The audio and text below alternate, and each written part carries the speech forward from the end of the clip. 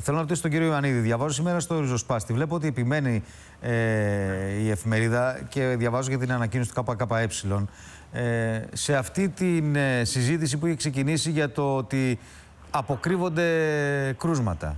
Ε, αριθμός κρουσμάτων σε διάφορες ε, περιοχές.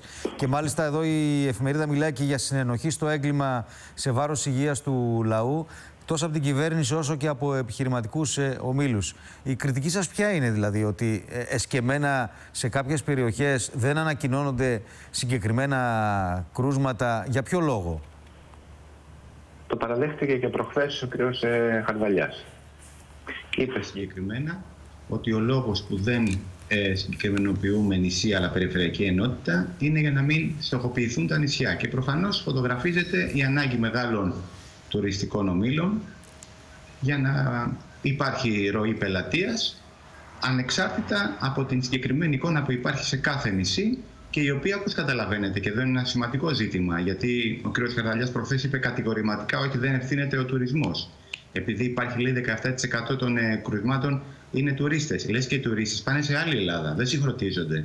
Και λες και δεν ξέρουμε, με βάση τα επίσημα στοιχεία, ότι το 12% της εισρωής τουριστών είναι αυτοί οι οποίοι έχουν υποβληθεί σε τεστ. Ναι. Άρα λοιπόν για ποιο πράγμα μιλάμε.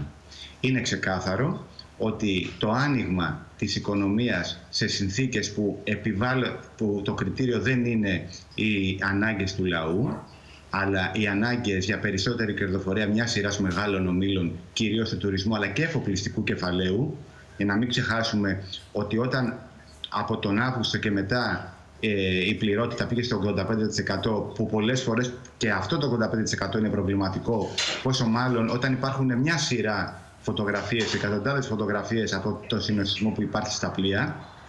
Άρα λοιπόν το θέμα δεν είναι ότι η κυβέρνηση έβαλε την υγεία μπροστά από την οικονομία, έβαλε την υγεία στο κάρο κυριολεκτικά της καπιταλιστικής οικονομίας. Αυτή είναι η ουσία στα ελληνοτουρκικά να έρθουμε και να συζητήσουμε λίγο ε, όλα αυτά που συμβαίνουν εδώ στην ε, περιοχή μας. Ε, εχθές φαντάζομαι θα είδατε, την, ε, μάλλον θα πληροφορηθήκατε το τι βγαίνει από την τηλεδιάσκεψη των Ευρωπαίων ηγετών. Υπάρχει μια φράση, ε, μια φράση κλειδί τη λένε πολλοί, ότι όλες οι επιλογές είναι στο τραπέζι. Προφανώς υπονοούν ε, το ενδεχόμενο να υπάρξουν μέτρα κυρώσεις κατά της Τουρκίας.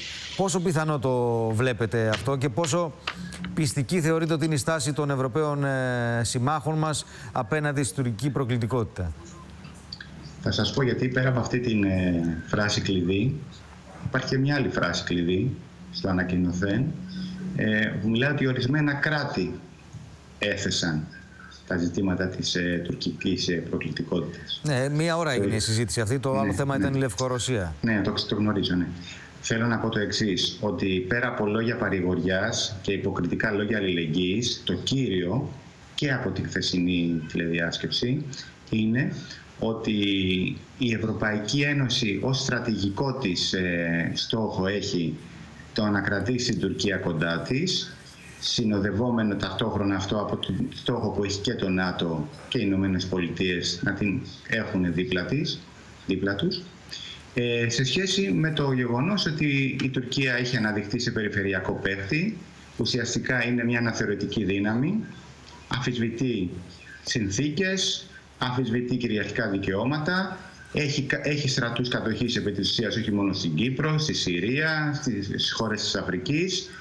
Ε, από αυτή την έννοια λοιπόν ε, δεν μας, ε, δεν μας, ε, μας προβληματίζει πάρα πολύ και μας ανησυχεί το γεγονός ότι όλα αυτές, όλες αυτές οι κινήσεις, το γεγονός δηλαδή ότι επί μέρες ε, τουρκικό πλοίο βρίσκεται αυτή τη στιγμή, μπαίνει, βγαίνει στην ελληνική υφαλοκρηπίδα, σε ελληνικά δηλαδή ε, ύδατα, ε, ουσιαστικά σπρώχνεται και από, τις, ε, από την Ευρωπαϊκή Ένωση και από τον ΝΑΤΟ. Αυτές είναι ε, οι βασικές αιτίες για την τουρκική επιθετικότητα και για το γεγονός δηλαδή ότι ε, διαμορφώνεται, διαμορφώνονται όροι, σπρώχνεται η Ελλάδα σε συζήτηση και διάλογο ουσιαστικά συνεκμετάλλευσης ε, των ε, χωρικών μας συντάτων. Και αυτό είναι το βασικό πρόβλημα.